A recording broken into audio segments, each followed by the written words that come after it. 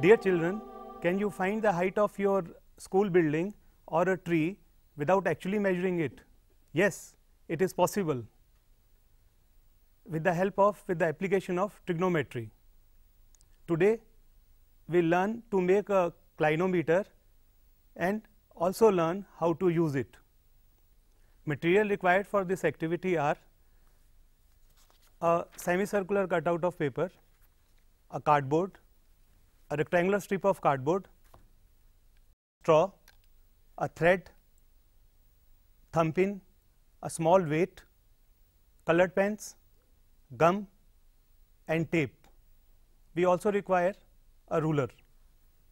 A clinometer is an instrument used for measuring the angle of elevation and angle of depression of an object in order to find the height and distances.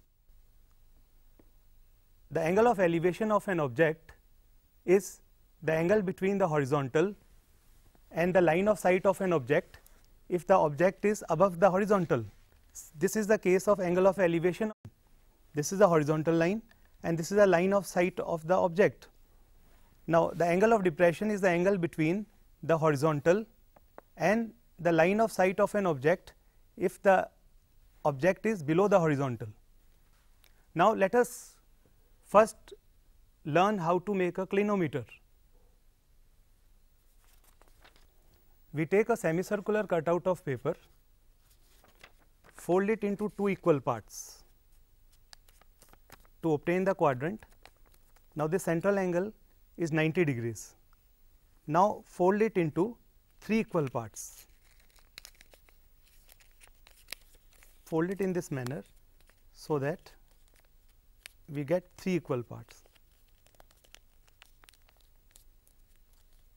Now, angle of each of these sectors is 30 degrees. This angle is 30 degrees. Fold it once again and press to form the crease. Now, the angle of each of these sectors is 15 degrees. Unfold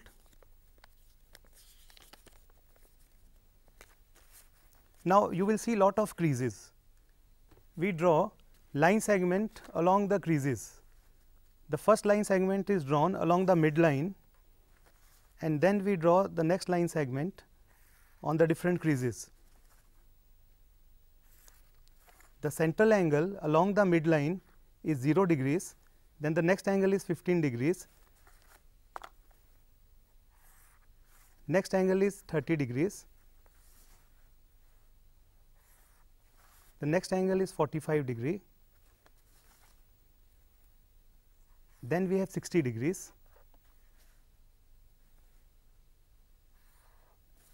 75 degrees and 90 degrees.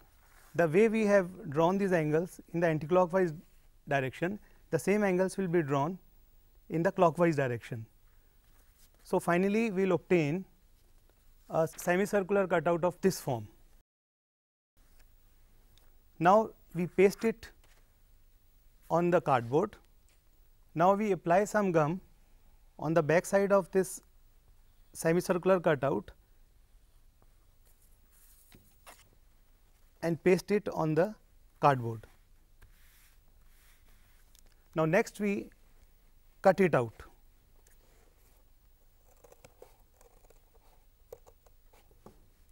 Now, the replica of this is ready with us we will obtain this protector.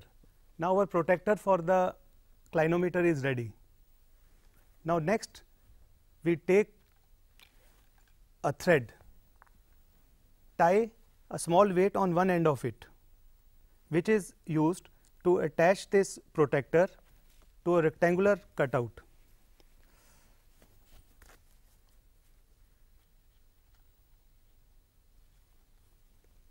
like this.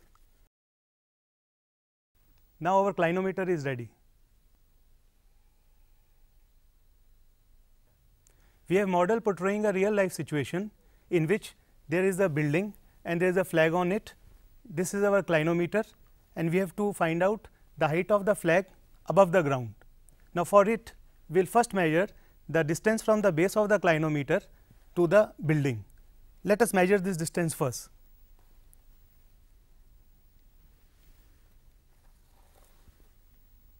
Now, the total distance between the base of the building and that of clinometer is equal to 74 centimeters. Now, let us measure the height of the clinometer above the ground level. The height of the clinometer above the ground level is 40 centimeters. Now, we have the diagram of this practical situation with us. Now, the distance of the clinometer from the base of the building is 74 centimeters. The height of the clinometer is 40 centimeters. This h is equal to we denote it by h it is equal to 40 centimeters. To measure the angle of elevation of an object gradually rotate the protector of the clinometer looking through the straw and stop when the top of the object is visible. The angle of elevation is the angle between the midline of the protector and where the thread is touching the scale. You can also measure the angle of depression using the clinometer. Now, the angle of elevation which we have seen of the top of the flagstaff comes out to be 30 degrees, theta is equal to 30 degrees. Now, using the application of trigonometry, we can find the height of the flagstaff above the ground level. Now, children you will notice that PTSQ is a rectangle and since opposite sides of a rectangle are equal, PT is equal to D QS which is equal to 74 centimeter and PQ will be equal to TS which is equal to 40 centimeters. Now, in triangle PRT tan theta is equal to opposite side upon adjacent which is equal to RT upon PT. Therefore, substituting here tan theta will be equal to value of RT let us say is x and PT is equal to 74 centimeters.